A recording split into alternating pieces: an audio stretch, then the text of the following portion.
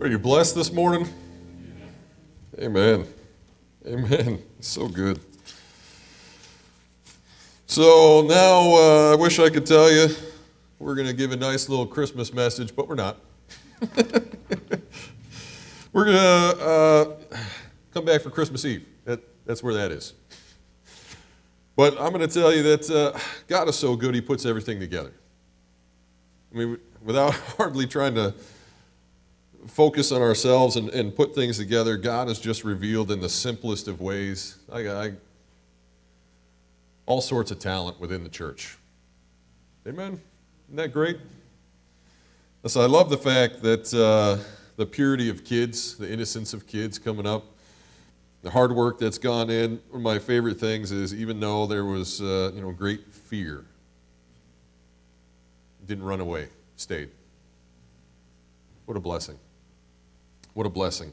We're actually going to finish up John chapter 3 with our conversation with Nicodemus on just verses 18 through 21. We're going to kind of bounce around in Scripture a little bit. But I want to I want to start off with this, and we are going to talk about Christmas a little bit. God wanted to throw something different out there today, uh, so I'm just going along with that. But as you well know, in the last few years, Christmas itself has been under attack a little bit, hasn't it? It's really not Christmas, it's really Jesus that's, uh, that's being attacked. And I'm going to throw this out there and I'm going to emphasize it again later. We don't worship or we don't come together on Christmas because of trees and lights and presents. We come to worship the King. That's what was sung about this morning by, by all. It was played um, so brilliantly here. It's because of the King. And that's who we're talking about Jesus Christ. Conversation with a simple man. Let's look at those verses. I'm going to start in verse 17. It says, For God did not send his Son into the world to condemn the world, but that the world through him might be saved. He who believes in him is not condemned, but he who does not believe is, is condemned already, because he has not believed in the name of the only begotten Son of God. And this is the condemnation that the light has come into the world, and men love darkness rather than light, because their deeds were evil. For everyone practicing evil hates the light and does not come to the light, lest his deeds should be exposed. But he who does the truth comes to the light that his deeds may be clearly seen, that they have been done in God. Heavenly Father, as we open up your word this morning, Lord, let us focus on the light, on Jesus Christ. There's nothing the darkness can do to blot out God given light. And we praise you for that this morning. And as we look and see what the, the last message that Jesus has, has won the victory for us and what he has already done, Lord, may it grip our hearts tight this morning. May we hold on to Jesus forevermore. Lord, we pray this in your holy name. Amen. Verse 18. I love this phrase, right? I love this phrase. He who believes in him is not condemned. I don't know about you, but that's a reason to celebrate. Isn't that the great baby that was born on, in, in a manger was the promise? It was the promise of life, the promise of salvation, the promised Savior to come. And here we have later on in his life if you believe in the promised Savior, you are not condemned. You are not condemned. We do not have the deserved condemnation. Belief in Jesus frees us from deserved condemnation. But if we look at that word, what does that word really mean? Because we use it liberally at, at different times. And it really, it's really talking about to be implicated morally and judiciously, right? Ju- judicially.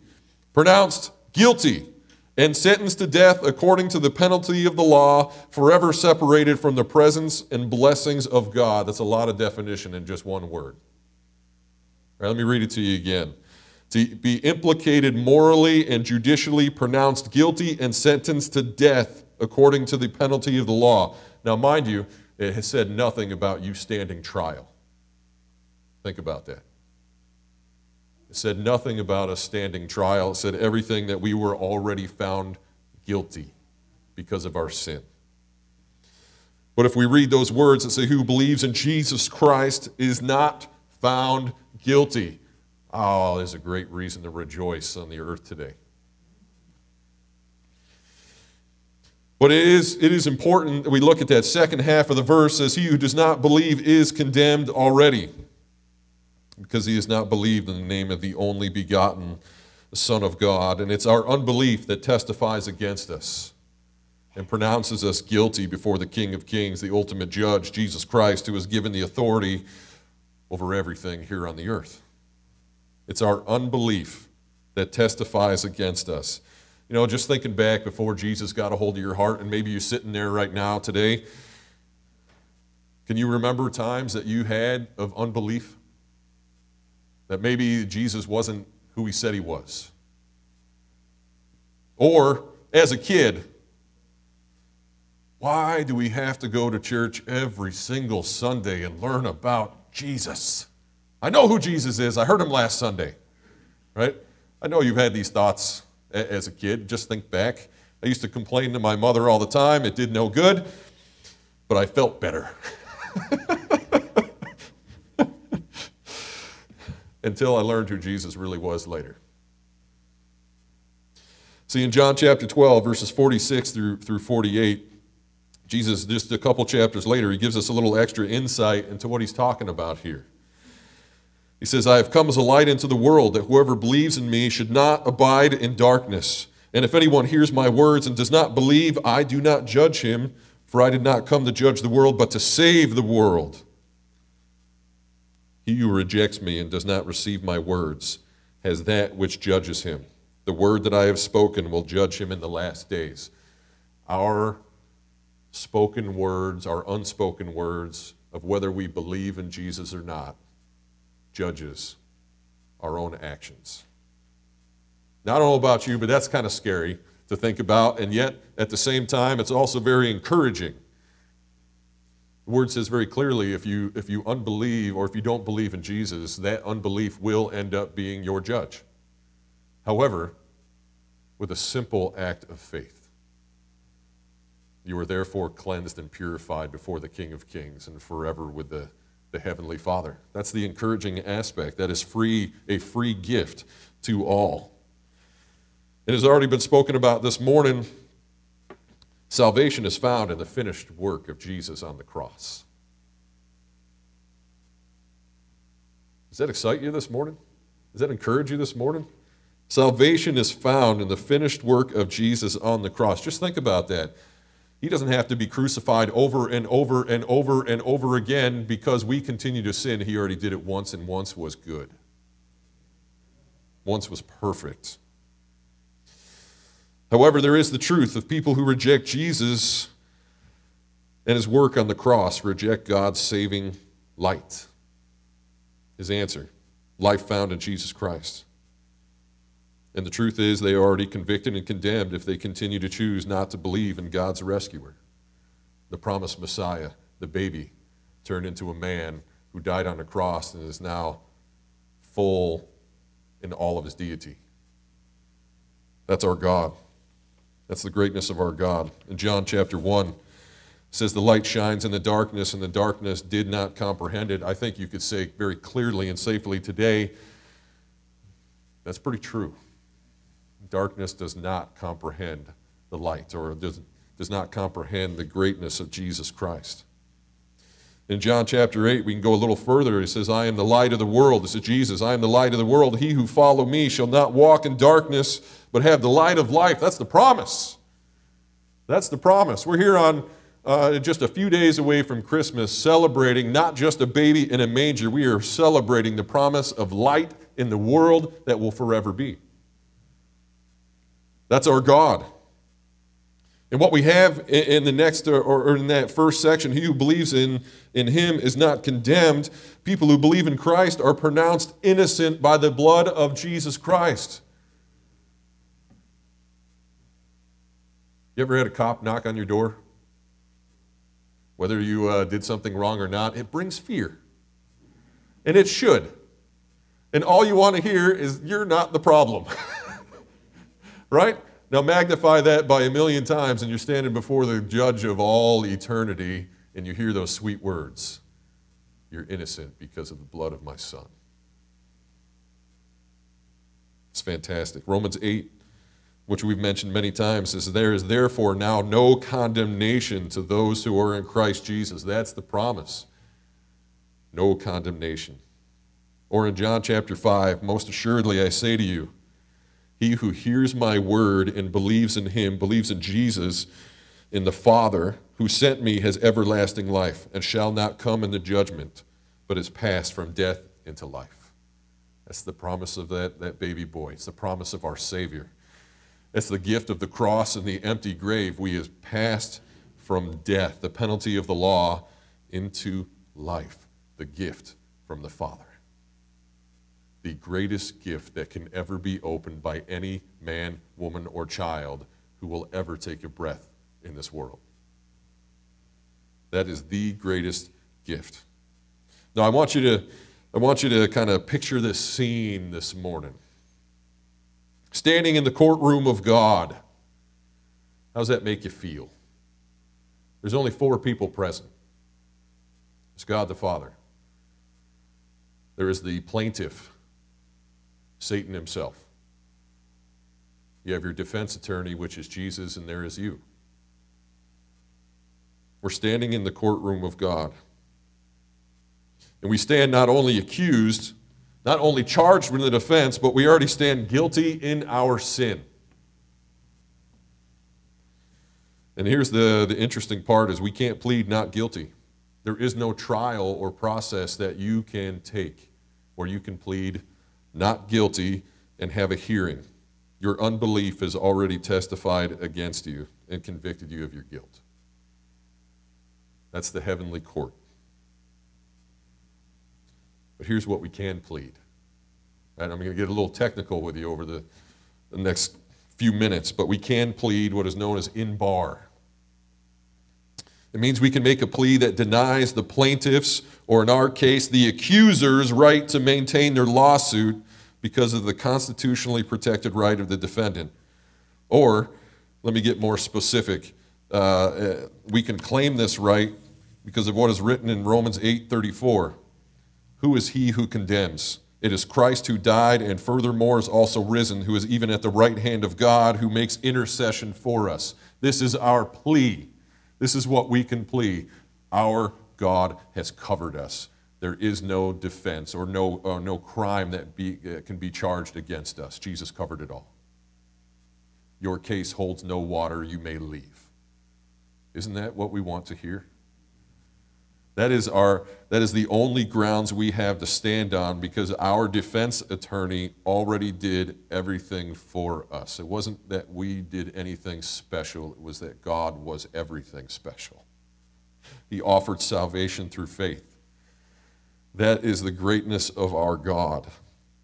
Matthew Henry says a little of this. He says, He is afflicted. This is uh, talking about people in the world, you and I, he is afflicted, chastened of God, persecuted by the world, but he is not condemned. The cross perhaps lies heavy upon him, but he is saved from the curse. Condemned by the world it may be, but not condemned with the world. That is everything. Right? We may live in the world, but we're not part of the world. Right? We can testify to the world, but we represent the greatness of our God. Why is this important for us? Because the world's judgments are often quick, harsh, they're full of pain, they're full of accusations, they're full of falsities, and has very little understanding. Chances are, if you go anywhere today and talk about Jesus publicly, you're going to find out what that is really like. And here's the goal of it all it's to make you doubt. Make you doubt. Back to Genesis 3. Make you doubt separate you from your fellowship, from the fellowship of believers, from the support system that God has placed you in your life. This is how you are weakened. Right? If you have doubts, you generally casually pull away from those who are around you while you try to figure it out on your own. And then in the end, you are isolated from wisdom and encouragement that you need to stand victoriously. And when it's all said and done, you, you utter two words, or three words, I should say I give up. That's the enemy's goal. That is the enemy's goal. That is not what Jesus says for us. That is not what he has to say. Flip over to, keep your finger there, but flip over to Romans chapter 8, because I want to point this out for you. Romans chapter 8 in uh, 35 through 39, just these couple verses.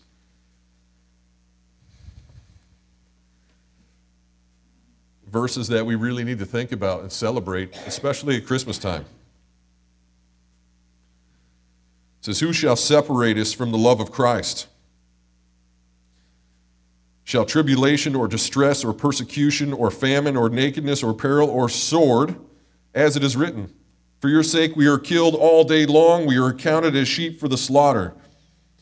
Yet in all these things we are more than conquerors through him who loved us. For I am persuaded that neither death, nor life, nor angels, nor principalities, nor powers, nor things present, nor things to come, nor height, nor depth, nor any other created thing shall be able to separate us from the love of God which is in Christ Jesus our Lord. That is the promise of the Savior.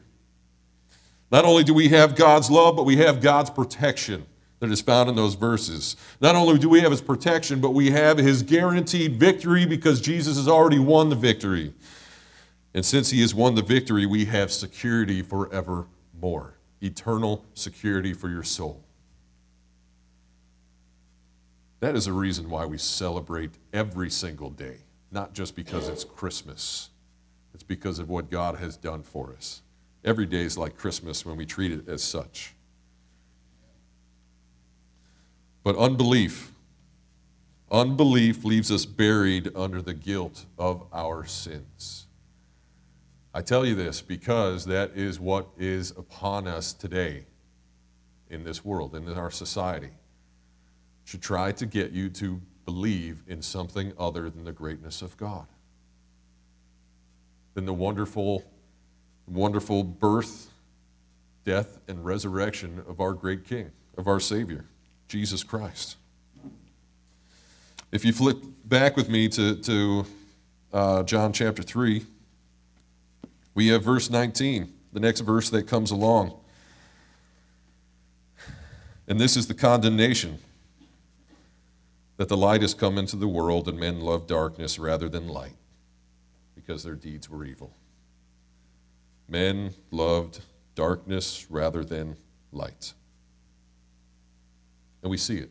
We see it represented all over the place. We see that knowing that Jesus Christ is our light and the light for the entire world, there's only one God, one name that is fought against through the entire world, it's the name of power. It's the name of salvation. It's the name of eternity. It's the name of Jesus Christ. In John chapter 1, I just want to read this to you. You, you can flip there, I guess. It's only two pages over. Verses 6 through 13. Here's the proclamation of Jesus as our light talking about John and then Jesus, there was a man sent from God whose name was John. This man came for a witness, to bear witness of the light, that all through him might believe. That's you and I, that's forever, that is all time. He was not that light, but was sent to bear witness of that light. That was the true light which gives light to every man coming into the world. He was in the world, and the world was made through him, and the world did not know him. This is the sad part. This is the darkness that fights against Jesus Christ. He came to his own, and his own did not receive him. But as many as received him, to them he gave the right to become children of God, to those who believe in his name, who were born not of blood, nor of the will of flesh, nor of the will of man, but of God. To be born again. The same conversation that he has with Nicodemus just a little bit later, two chapters later. You must be born again. That is our light. And yet we find it remarkable that he was sent to his own people and his own people rejected him.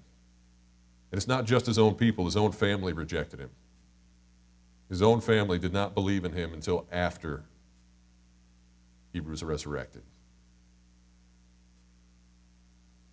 See, light reveals, it enlightens, it proves its power, it brings rejoicing to the heart, to the mind, and the world. I don't know about you, but I cannot wait till the summertime. I like sunshine. Right? And that's just the glory that God has displayed to us in the, in the creation of the world. Sunshine brings energy, it brings life, it brings joy to the heart. Repeated darkness just continues to hold you down in a, in a continual despair. Well, if we magnify that, that is the light of our soul, Jesus Christ the giant beam that just lights you up from the inside out. I am your God. I have saved you. And the great thing, you think about it, darkness runs from the illuminating power of light every single time. Light is always greater than darkness. If you're in a dark room, you kick on a flashlight, you open a door, what happens? Right? Everything starts to light up. It's not the other way around. Everything starts to light up. But men love darkness rather than light. And the problem in nutshell is this mankind has fallen in love with its sickness, which is sin. Choosing to love slavery instead of genuine freedom that comes from a relationship with Jesus. It's a choice. People have chose to live in the slavery of bondage and the slavery of sin. But we can't use that word because it's, uh, it might offend you if I mention the word slavery. I'm sorry if it does, to a degree. Right? If it moves you to the point of knowing Jesus Christ, I'm not sorry at all. That's the problem. The gospel is supposed to offend us because it offends sin. And if sin is in our body, it has to be offended in order for us to turn away from it. That's the greatness of light. It disrupts that sinful relationship.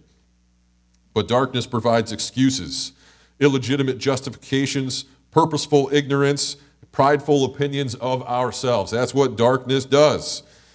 And instead of running away from it, people, to choose, people choose to run deeper into the darkness of the cave instead of running to the salvation of the light.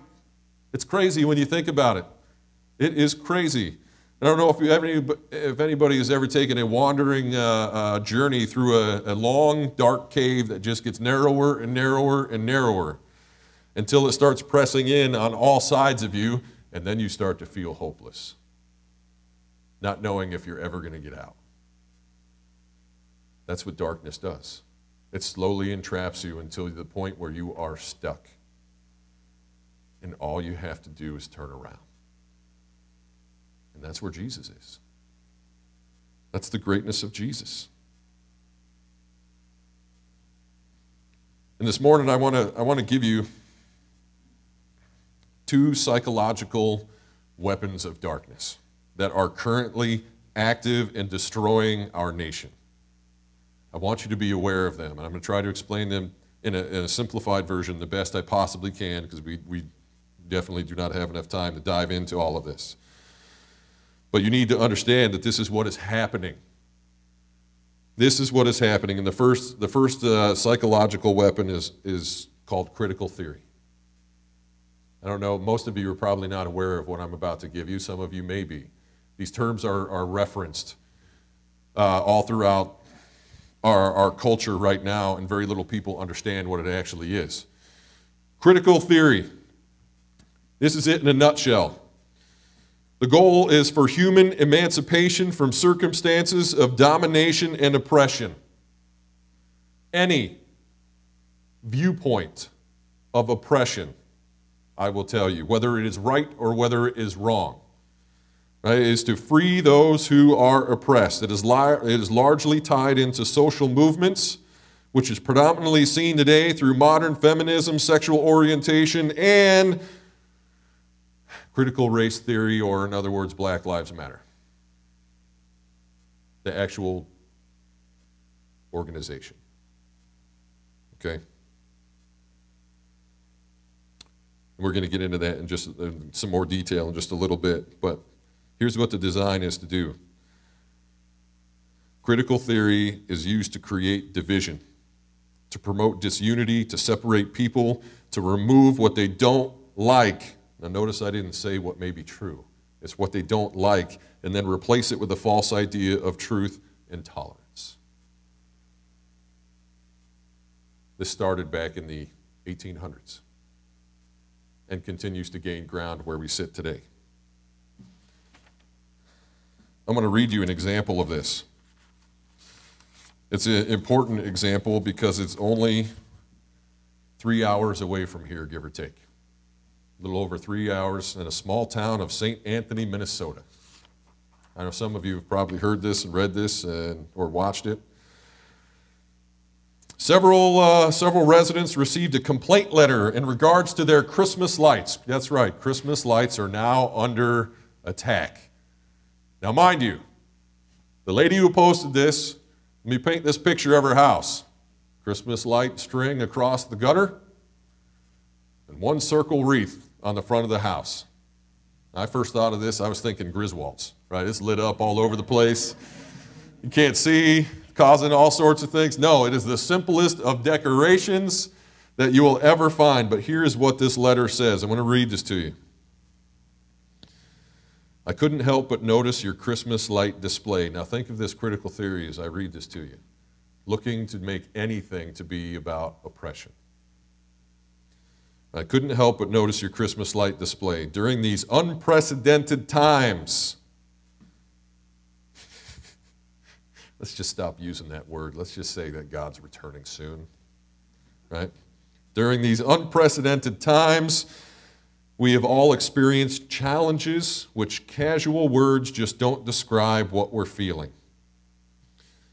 Here's where it gets good.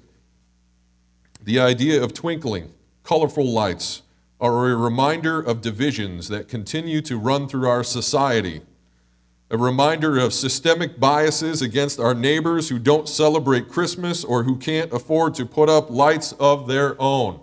Christmas lights have stopped being lights and have now become any social or racial oppression against you and I. That's called trying to remove God from everything. Everything. Gets better. We must do the work of educating ourselves about the harmful impact an outward facing display like yours can have. Continues to get better. I challenge you to respect the dignity of all people while striving to learn from differences, ideas, and opinions of our neighbors. We must come together collectively and challenge these institutional inequities. St. Anthony is a community welcoming of all people, and we must demand better for ourselves. The ironic thing is, critical theory, and this laced with it, is just completely the opposite of what it says.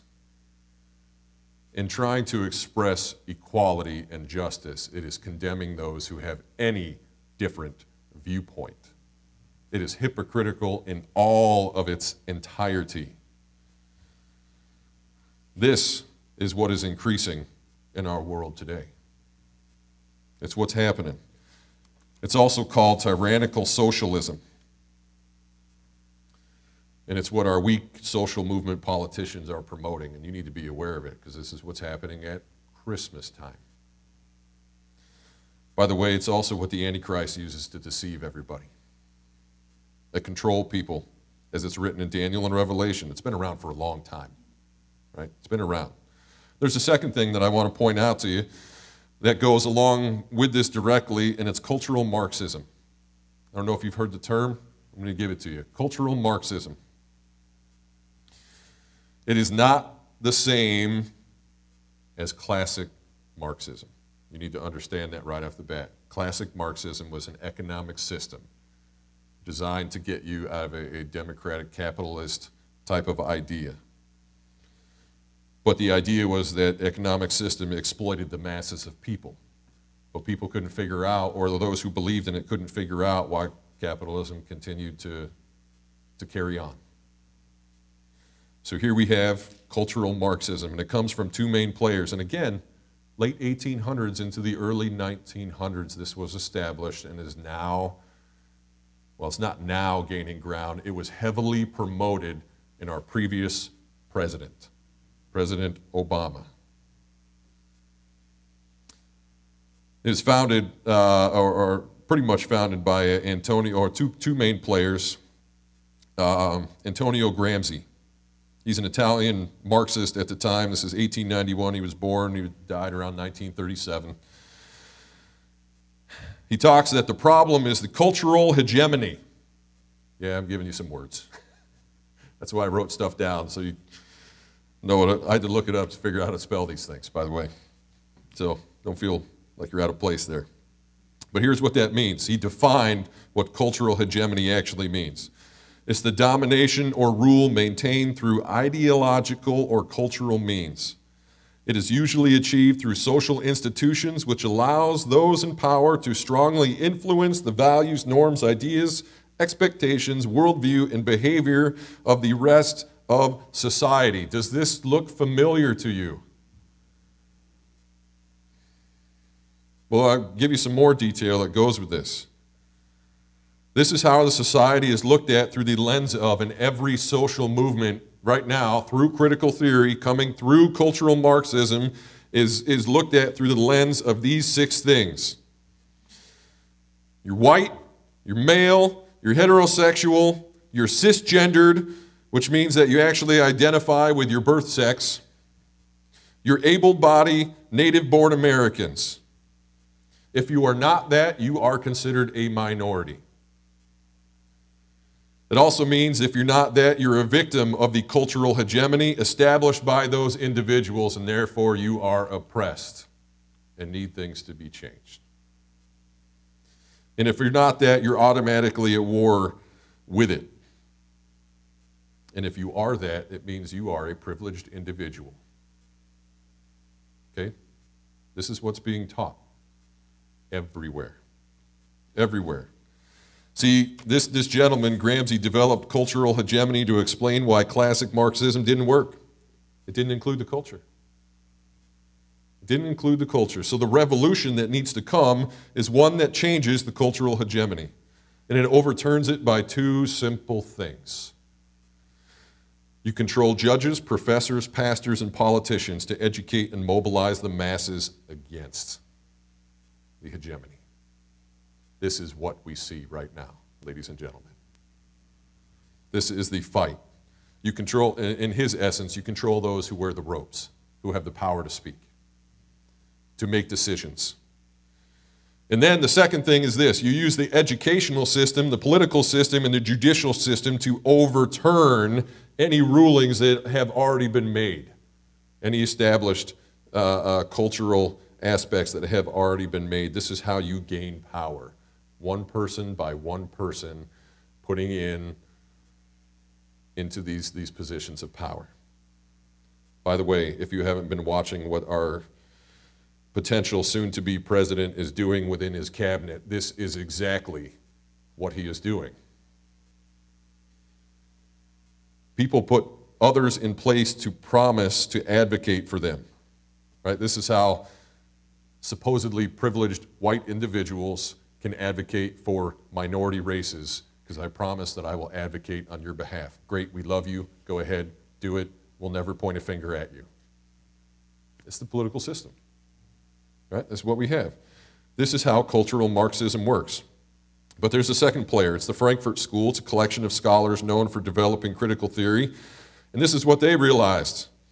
Now, remind you, this is in the 20s, 30s, 40s that is coming out, 1900s.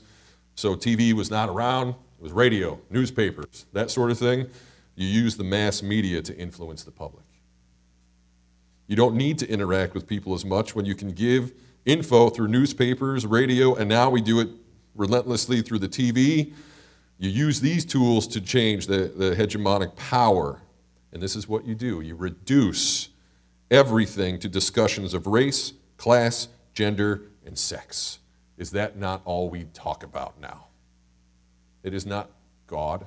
It is not morals. It is, I am oppressed because I am something different, or I want to be something different. And mind you, I listed both gender and sex. Right? Sex is the biology. That's what you were born. Male, female. Gender is what you want to claim to be. Right? So that is what is there. When you read these words in Scripture, men love darkness rather than light. It should come alive for you right now. This is what you are fighting against. This is the type of darkness the enemy is using to break down the love of God, the power of the light. And the power of sin is strong, it's deceptive, and it's extremely, extremely active. Therefore, you and I, as Christians, must be active in the world as well. If we look at, at verse 20 in John chapter 3, it says, For everyone practicing evil hates the light and does not come to the light, lest his deed should be exposed. That's kind of simple when you, when you, when you read it. Nobody wants their, their sin exposed, they want it justified. That's darkness. Just tell me what I'm doing is okay. That way I can continue to live in the pleasure that I feel. Not change into the righteousness of God because it's better and greater, and the promises are, are, are far, are far uh, more eternal. But we get to the greatness of, of Jesus in 21.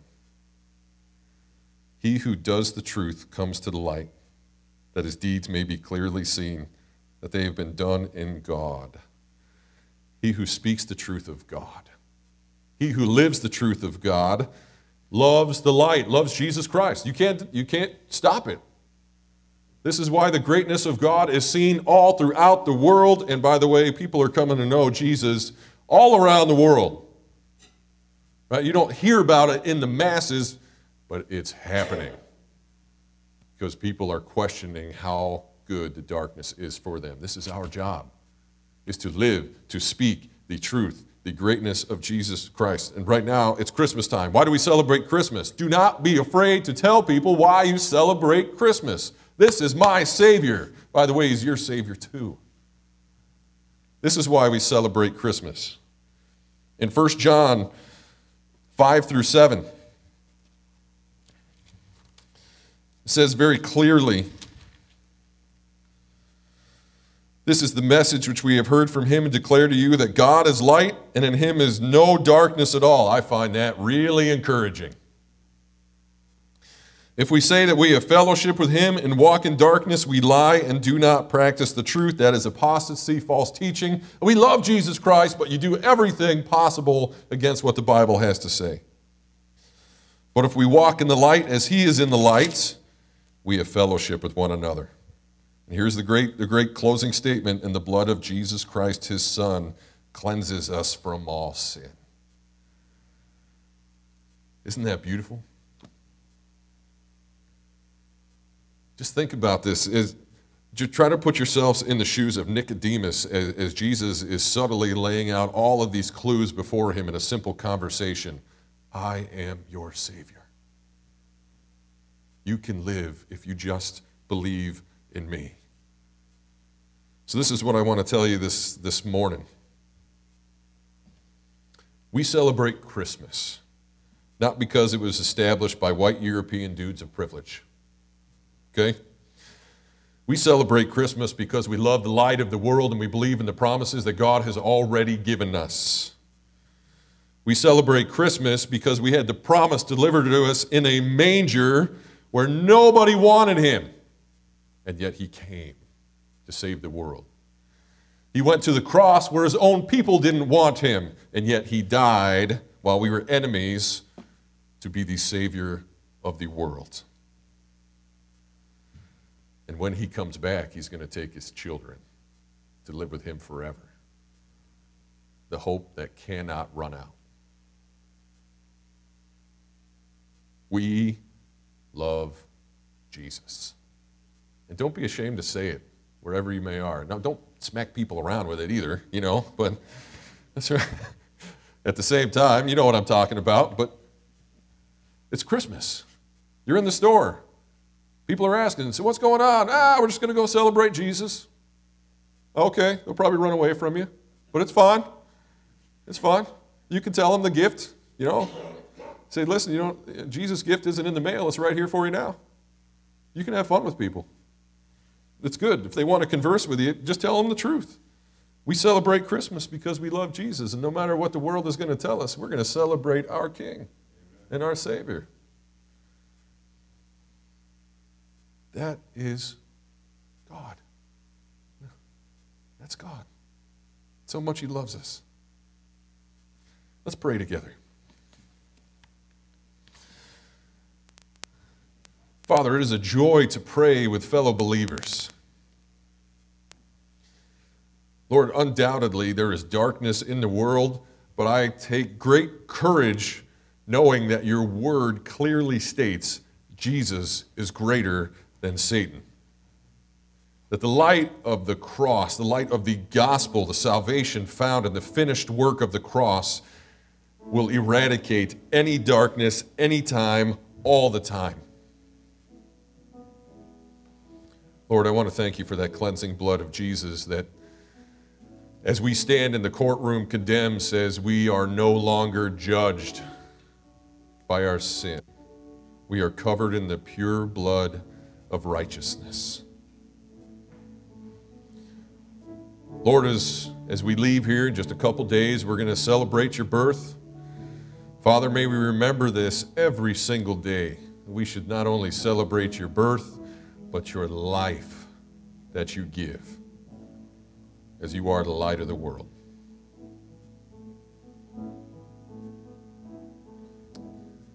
Oh, God, you are so good. So good. I want to thank you that you have claimed, and, have, and it is true that you have stated you love your children, you love your creation. And because of that, we can boldly and confidently say, We love you.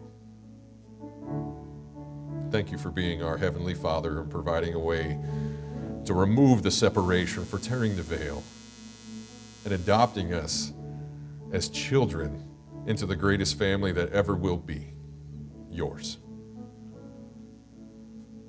Father, thank you this morning. And all God's people said, Amen. We're going to close with a song today. If you would kindly stand with us, if you are able to do so. If you just want to listen, by all means, go ahead and just listen. Or if you want to sing out, let it flow.